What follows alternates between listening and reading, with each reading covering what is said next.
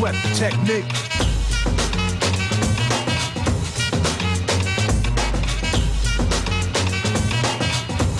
Don't sweat the technique.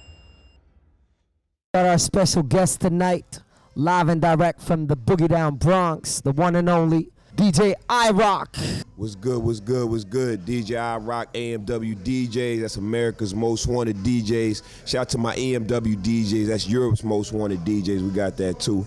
You know what I'm saying? Rolling with Alicia Keys. You know what I mean? Right now, um, basically like everybody else, you know, you hear music right you're growing up.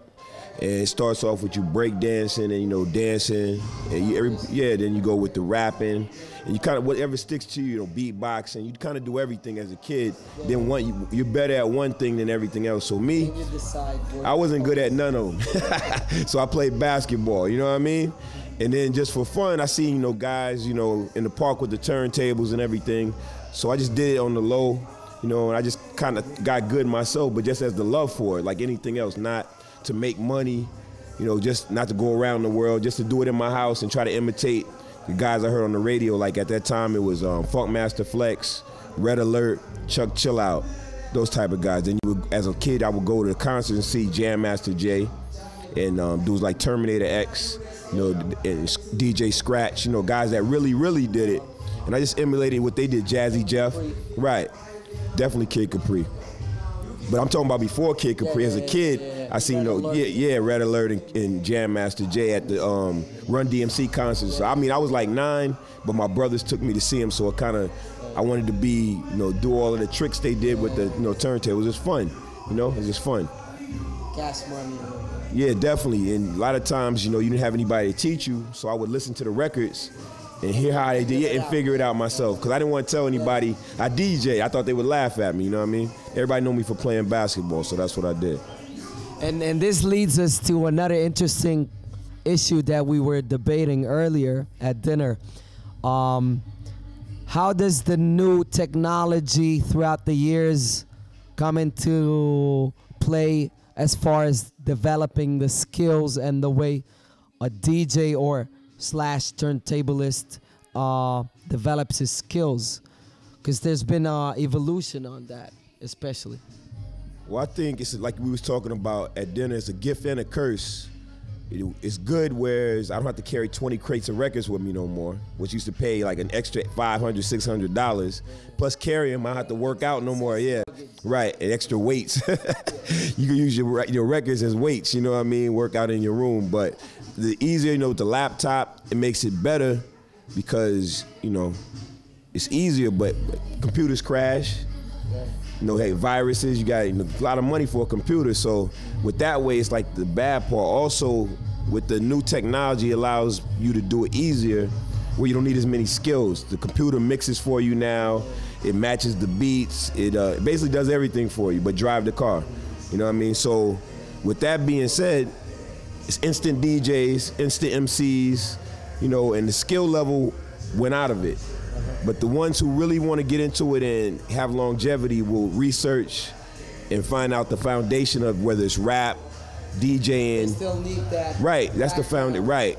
T- In order to be longevity, you could have a one-hit wonder, or you could DJ a couple parties today, but in five, six years, You will you, will you still be around? Right. That's what I've learned. And the guys who would accept the technology and use it to their benefit, as well as the skills, combine them, are the guys who are gonna stay in the game longest.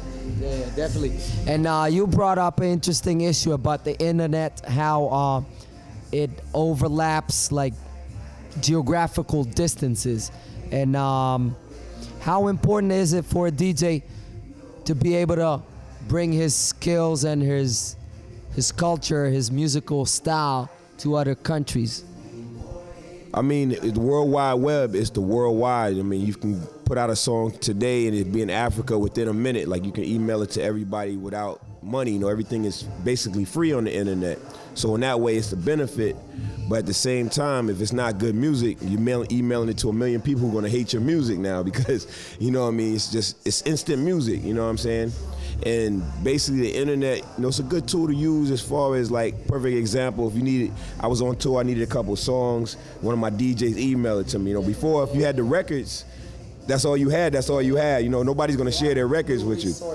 Right, you have to get new resources. But I think used to, it's not special anymore. Like I used to have certain records that if you couldn't find it, you didn't have it. And when you found it, you bought three copies so you would have backup. Right.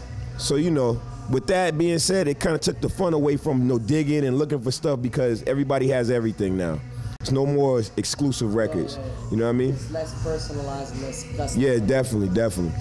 Okay, so um, let's break it down about the original uh, stuff you did with Big L and out there in Harlem and Boogie Down. Well, like I said, I played basketball, so I was in, in the Bronx. So between Bronx, Harlem is where I played a lot of basketball, and went to the gambling spot. You know, one day with my friends from the Bronx, try to win some money. And when we get in there, you know, Big L was in there. They told me, "Oh, that's Big L, because he just first song he had, it wasn't like he wasn't Big L yet. He just was Big L. You know, he had one single. It was getting a little radio play, and I was like, okay, that's what's up. I seen him.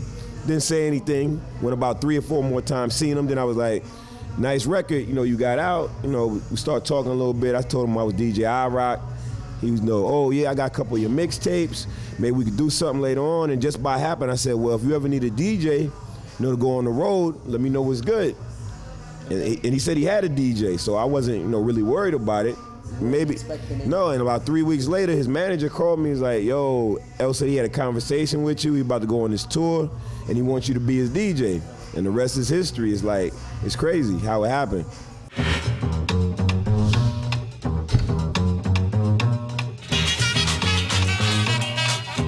Don't sweat the technique.